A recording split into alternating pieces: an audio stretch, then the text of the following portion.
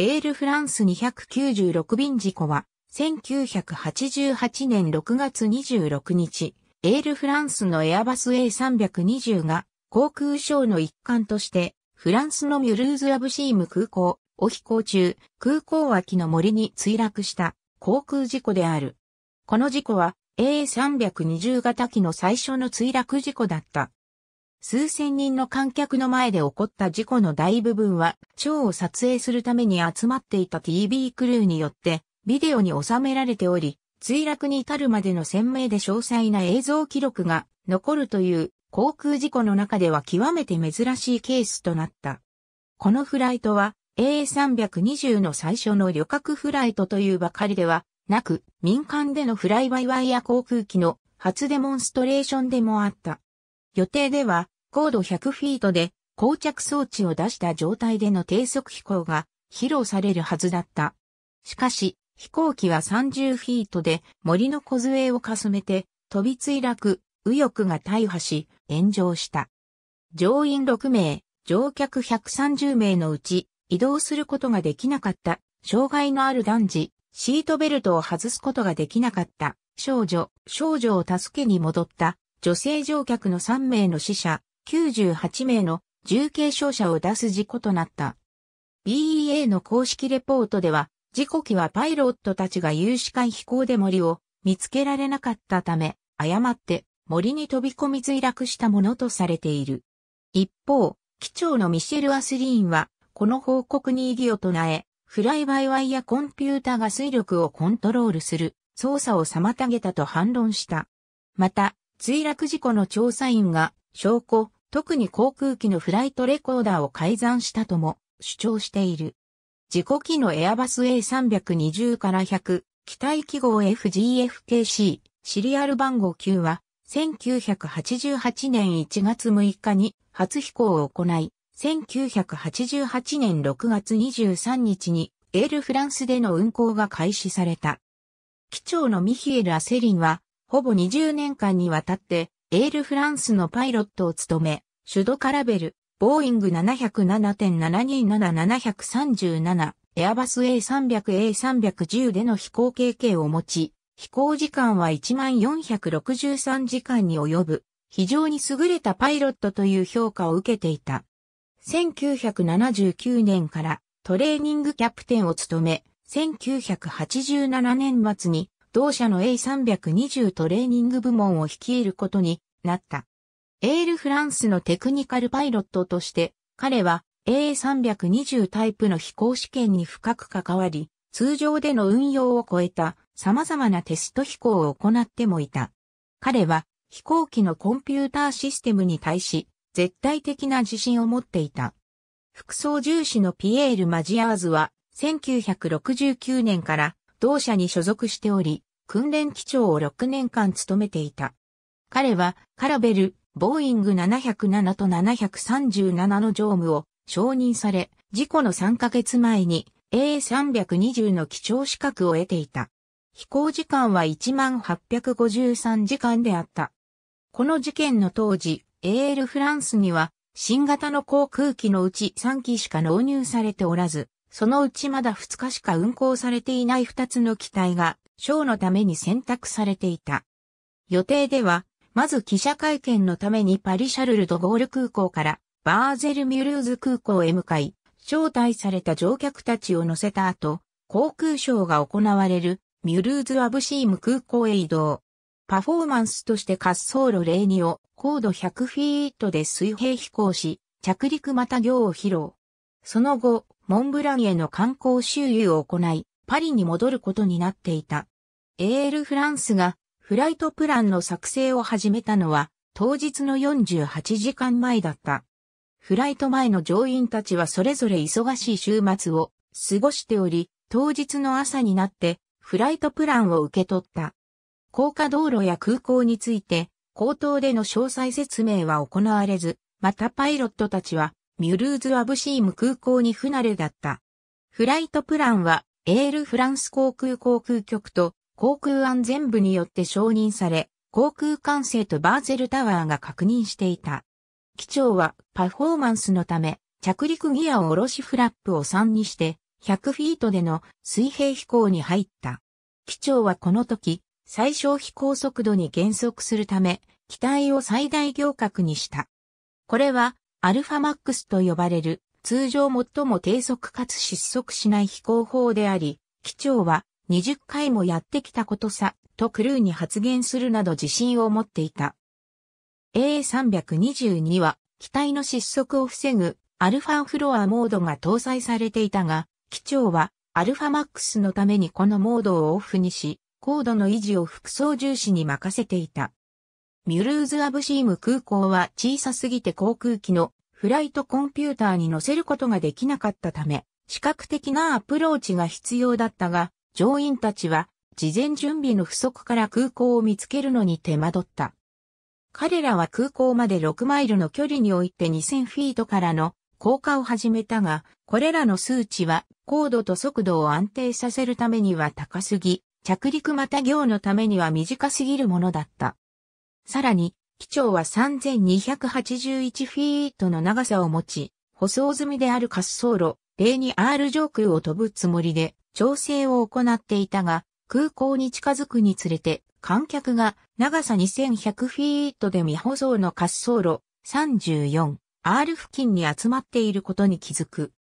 このため予定していた滑走路を目前にしながら、急遽目標を変更せざるを得ず、これが高度の維持から乗員の注意を流行らせ、機体は40フィートまで降下した。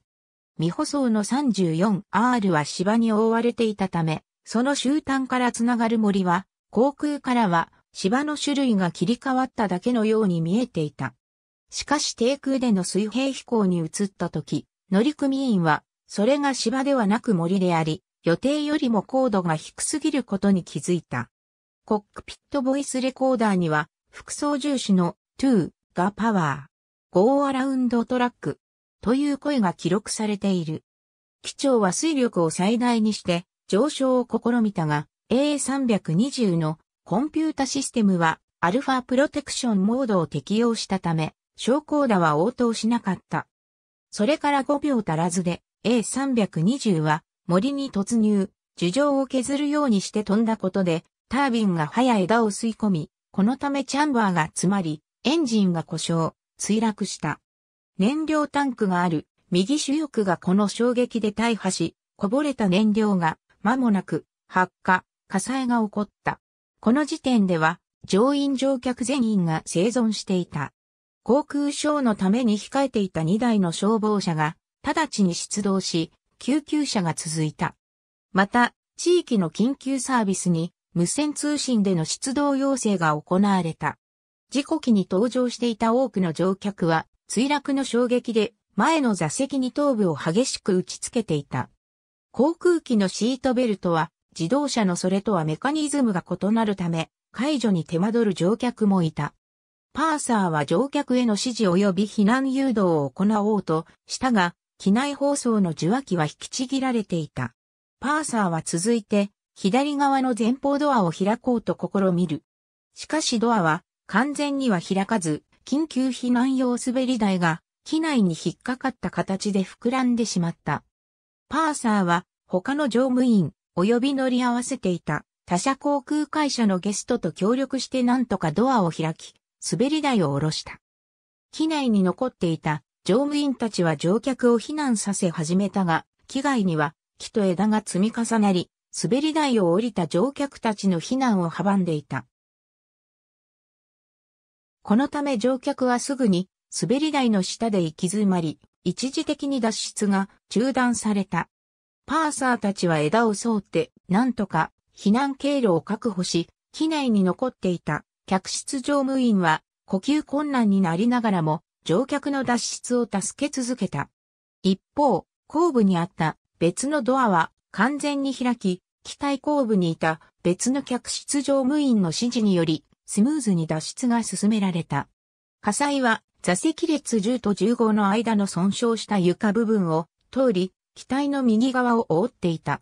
パニック状態の乗客は、客室前方の脱出口に向かって殺到した。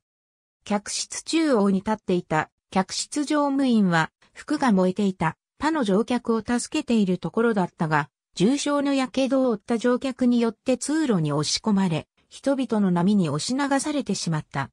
彼女は乗客の大部分が脱出した後、急速に有毒の煙で満ち始めた客室に戻り、声をかけたが、返答はなかった。すでに黒く濃い煙により目視は不可能となっていたため、彼女はそれ以上の確認行動を諦めるしかなかった。この事故で乗員、乗客計136人のうち3人が死亡した。そのうちの1人は4階席に座っていた身体障害者の男の子で、彼は自力での移動ができなかった。もう一人は 8C 席の女の子で、彼女はシートベルトを外すことができなかった。彼女の兄弟が手助けしようとしたが、彼はパニックに陥った人々に押し流されてしまった。そしてもう一人、女の子を手助けしようと、脱出口から引き返した女性が3人目の犠牲者となった。34人の乗客が、怪我や火傷のため入院を必要とした。両パイロットは、軽度の頭部外傷を負い、煙を吸い込み、また、ショック状態にあった。墜落から10分後、最初の消防車が到着し直ちに消火に当たったが、樹木に阻まれて、小型車以外は思うように動くことができなかった。A320 は、ビブを残して燃え尽くされた。公式調査は、フランス航空事故調査局により、航空会社と航空機メーカーの協力を得て行われた。フライトレコーダーは、幸い、燃え残ったビブに取り付けられていた。コックピットボイスレコーダーは、最初の衝撃から約1.5秒間作動していた。デジタルフライトデータレコーダーは、約1秒間動作し続け、その後さらに2秒間無意味なデータを記録していた。問題は、ビブの手前で発生し、最も可能性が高いのは、ホイールウェル領域で損傷がひどかった。CVR は6月26日の夜に BEA で確認され、エールフランスに勤務するパイロットが調査官として加わっていた。テープ速度は航空機の電源の 400Hz 周波数を使用して設定され、タイムトラックを含む航空管制記録と同期された。DFDR は同じ夜にブレシュルオルジュの飛行試験センターによって解析された。調査官は航空機の性能には何ら問題がなく、その重量とバランスは限界内に収まっていたこと、そして機械的、または電子的システムの故障の証拠がないことを発見した。CFM56 から5エンジンは29%、N1 から67%に達するのに4秒、かかり、67から 83%N になるまでに、さらに1秒がかかる。DFDR に記録されたエンジンパラメータ及び CVR 上のエンジン音のスペクトル分析から、等が電力投入5秒後、N1 エンジンの N1 速度は83%であり、N2 エンジンのそれは84%であったことが判明した。エンジン音のスペクトル分析は0.6秒後、両方のエンジンが91%に達したことを示した。パイロットたちはエンジンがフルパワーのアプリケーションに応答しなかったと考えていたが、エンジンのこの応答は認証データに準拠する正常なものであった。BEA の公式レポートによると、この事故の推定原因は次の通りである。さらにレポートは、機体を100フィート以下にまで降下させたことが意図的な行為ではなかったとするならば、アグルに関してパイロットたちが利用可能な視覚的及び聴覚的情報を適切に把握しなかったことが墜落を引き起こす要因となったと考えられると述べている。また、以下の点を指摘した。これらの疑問について、エアバスは1991年にザ A320 ホップスハイムアクシデントを発表し、番組制作者に雇用された捜査官がフライトデータレコーダーの無線送信パラメータの機能についてよく理解しないまま操作を行い、録画と録音を同期させる際に誤りを犯したのが原因であると反論している。1997年にアスリーン機長、マジエール副操縦士、エールフランスの二人の役員、そして航空ショーのスポンサーである飛行クラブの会長は全員業務上過失致死で起訴され、5人全員が有罪、うちアスリーンは、禁錮6ヶ月、執行猶予1年、マジエールは12ヶ月の執行猶予の判決となった。アスリーンはこれを不服とし、破棄員に控訴する意思を示したが、フランスの法律により、そのためにはまず禁錮刑を甘んじて受ける必要があった。1998年、アスリーンの控訴は却下され、彼の刑期は10ヶ月の禁錮刑と10ヶ月の執行猶予に変更された。自己原因の判定と裁判の判決に納得できなかったアスリーンは、後にレピロートへ、イル・クーポブルを出版し、事故は A320 の欠陥によるものであり、自身は事故の真実を隠蔽するためのスケープゴートにされたと主張した。エアバス A320 はその後も空を飛び続け、重大事故の発生率は約8000万回のフライトあたり10回で安全な航空機との評価を得た。またフライバイワイヤーシステムは次世代の有効なシステムとして採用され、運用され続けている。ありがとうございます。